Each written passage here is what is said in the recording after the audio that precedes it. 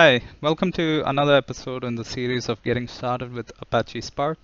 And uh, today's session is um, a very important step in terms of uh, getting your development environment set up so that uh, you can build applications, um, Spark applications uh, in your dev environment. Uh, in the video series so far, I've covered how you can install Apache Spark uh, in standalone mode and also covered how you can use the Spark shell to run some very basic commands.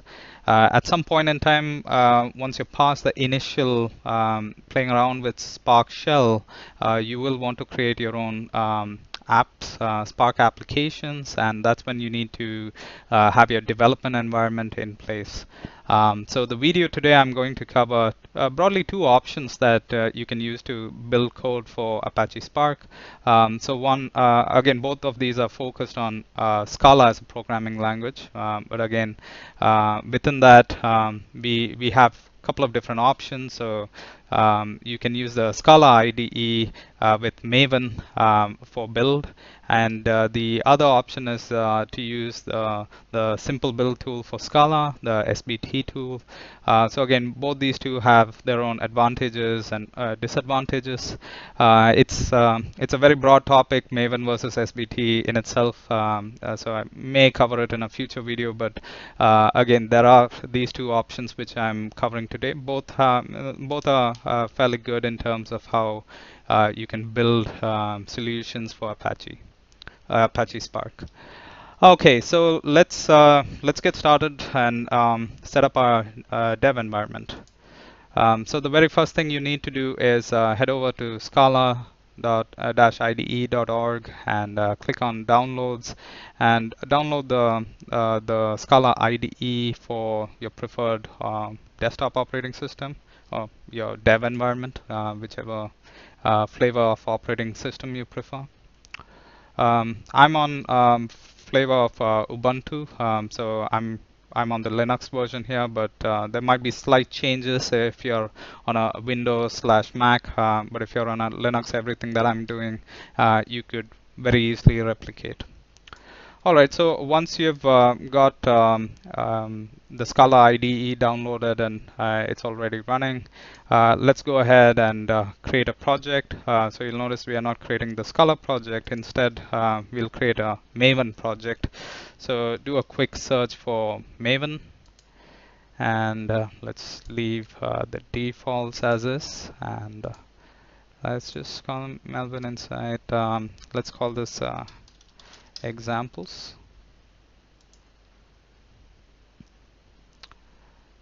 Okay.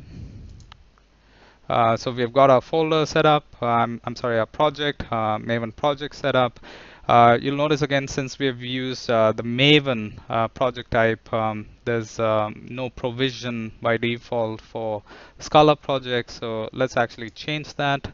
Um, go to configure, add uh, Scala nature, uh, it might take uh, a minute or so on your machine for the changes to, uh, to be updated. Um, yeah, you can see it's added um, a new library container.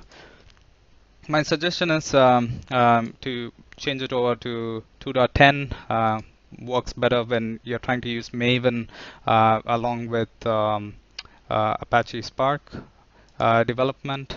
Uh, so now we can uh, we have added the Scala nature. However, there's um, the folder structure is still very Java centric. So let's uh, go ahead and change that. Um, so let's click on the build path and click on the source tab. Add a folder under main. Let's call it Scala. And we'll add the pattern so you can see as a reference here. But I'm going to add Scala.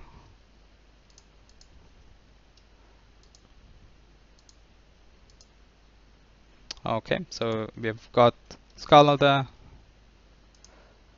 And uh, finally, just um, for ease of management, again, this is how you would, um, um, you know, write um, much larger software projects.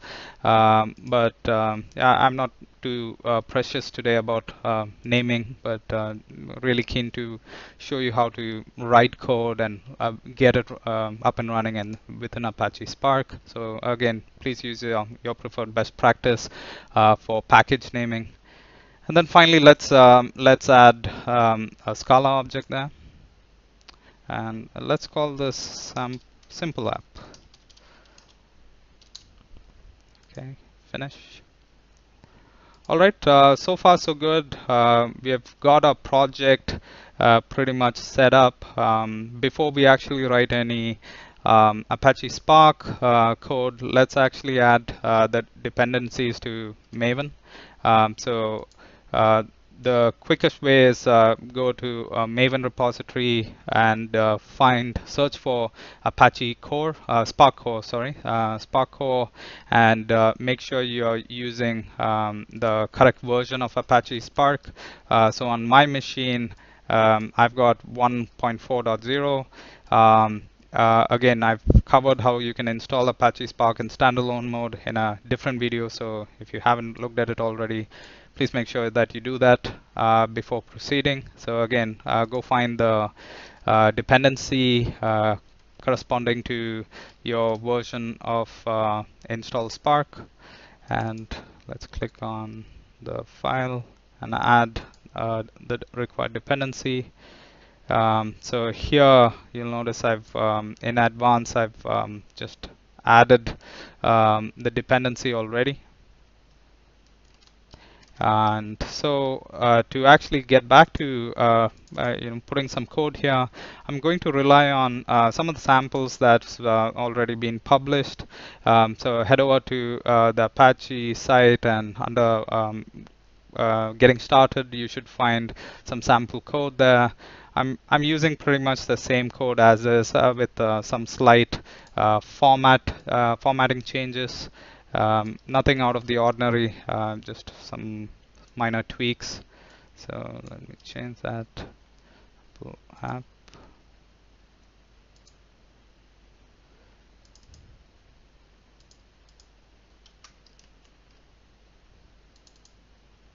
Not sure why that's happened. Uh, let me go back here.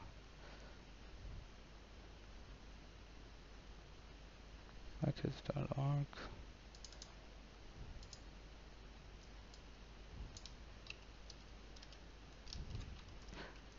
go back to the site. Uh, I think I have copy pasted the wrong one. Change. Do you want to overwrite? Yes. So again, uh, give it some time. Uh, if it's the first time you're uh, you're setting up the dependencies, I'll just change the formatting a bit. Then let me come back here. So it's all good. Um, okay, so that's that's pretty much it for us to get started. Uh, one of the things I'm going to do is um, just set a master here. and I'm setting it to local um, and the default to use as many cores uh, as available and let's uh, run that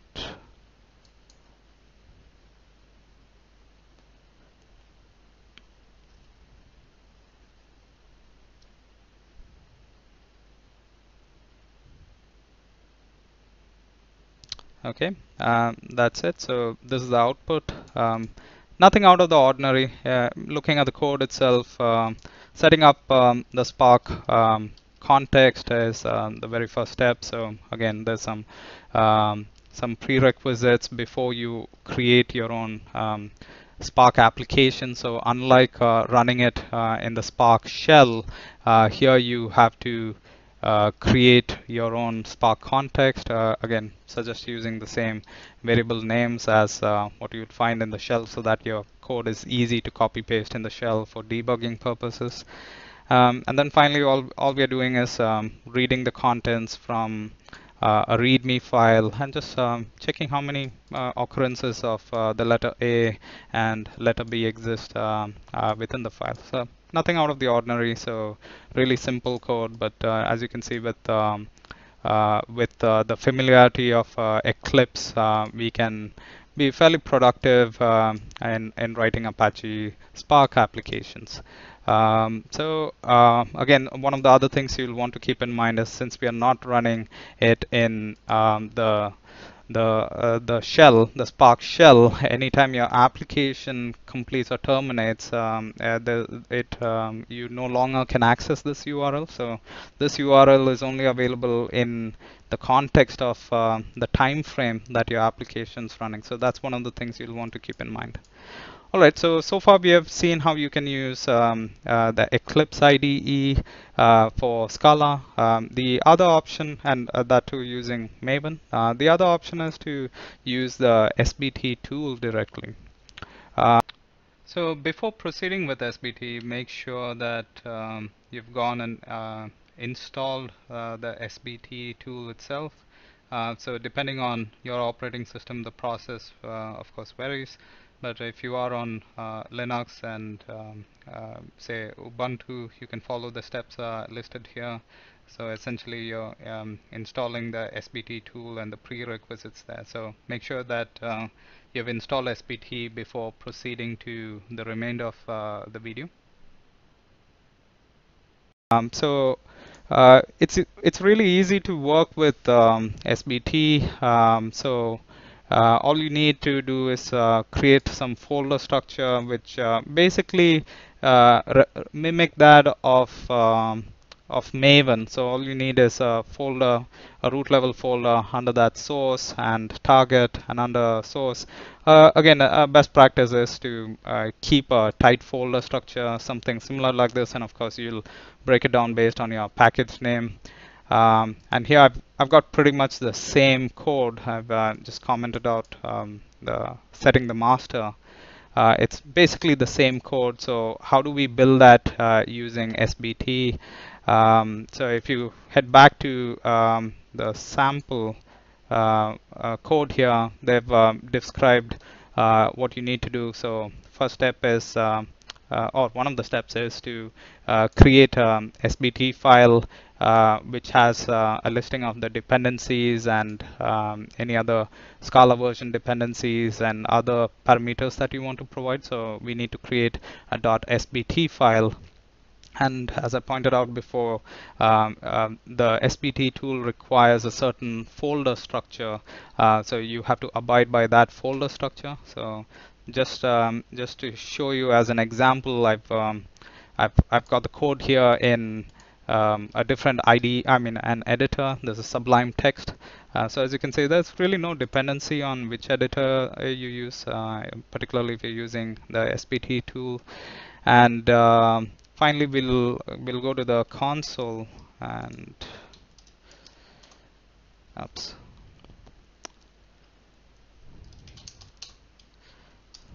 Cd code. So um, if I look at the folder structure, and uh, so very simple folder structure as um, I've not built uh, use SBT tool already. So um, once we do that we'll find that that creates a lot many other subfolder hierarchies. So again created uh, this file here. That's uh, the uh, simple.sbt. So again, it's uh, pretty much a copy from uh, the Apache website. So we are adding the required uh, dependencies here. then finally, what we need to do is uh, we'll go back to our console. Um, so here we can see that we have the SBT file here. So let's run SBT package.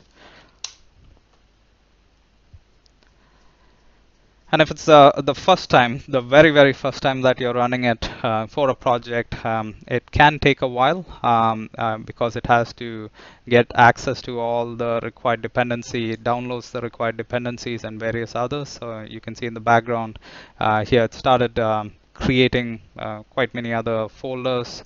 Um, and it might take maybe a minute or two uh, for the entire process uh, to complete. So I'm going to pause the video and resume once uh, uh the build is complete.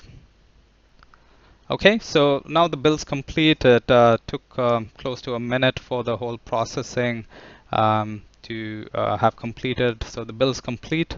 Uh, the next thing we, uh, we can do is, uh, again, um, sorry, just before we do that, you'll notice that uh, behind the scene it's created quite many other folders post running the SBT tool. Uh, now what we can do is um, in our console we can uh, run a command and uh, submit um, a job to Spark. So I've um, typed that here in advance. Let me just tune that a bit. I, oh yeah, I was playing around with this code, so just double checking if the the package names are all in place. Uh, simple app master.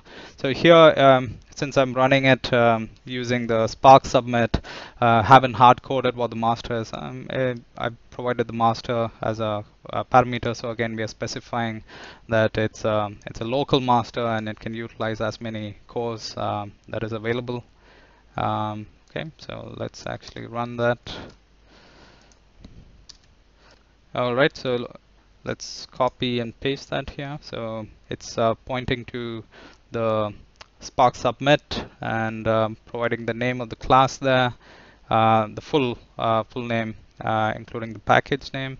And then here I'm providing the parameters I mentioned earlier. We're passing the the master parameter and finally pointing it to where we have just built uh, the project. So once you've uh, run the SBT command, uh, this is the folder within the target uh, folder uh, where it creates the jar file. Let's run that.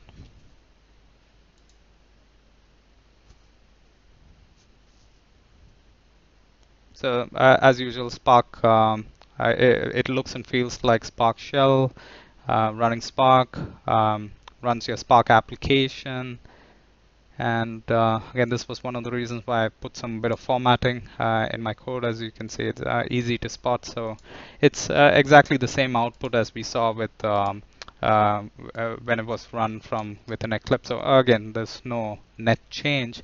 But as you can see there are a couple of different options here. Uh, one of the benefits of using SBT is uh, particularly when you have uh, very large projects, um, you'll find that uh, SBT uh, is a lot faster. So as a simple example, if I if I change one of the files here, um, and uh, uh again I did not make a massive change, and uh, say SBT package. Um, so it basically does incremental build. So again, if your uh, if your project is uh, very very large, again SBT uh, provides um, a lot more uh, you know developer productivity amongst various others, of course. Uh, but um, again, these are two broad approaches uh, that you can use um, depending on your workflow and how you what solution you find more comfortable. You can opt for one or the other. Um, so I think that concludes uh, what I had to cover for today's uh, session, um, this video. So hopefully by the end of this video, if you're in a position to actually write some uh, code in Scala and get that compile, build, and finally run that as a Spark application. Uh, hope the video has been helpful. Look forward to seeing you on future series of uh, uh, getting started with Apache Spark. Thanks everyone for watching.